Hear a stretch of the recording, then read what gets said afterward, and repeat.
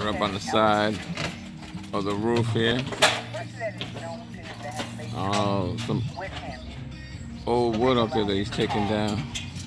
Well, now he said the existing wood looks good. I see a 2 by 4 It looks fairly new. So I'm not sure what that is about. Other than that, the house looks solid. These guys haven't said anything to me. Though they understand my Spanish and I understand their Portuguese. They put up a little bit of wood.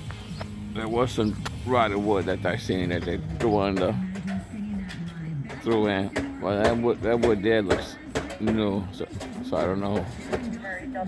I don't know how long was that put. I know they didn't put that up. And then over here you can see this roof here. It's just about to go. I told La Viejita she needs, she definitely need a new roof, new windows, new gutters, new everything, bro. Still got the bars. But these guys are on point. Come here early, get the job done.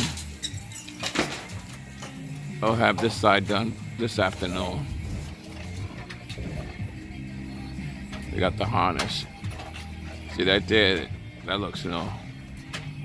But they didn't put that there because they just he just removed a whole bunch of wood.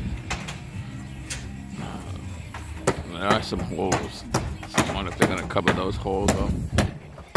See a hole right there.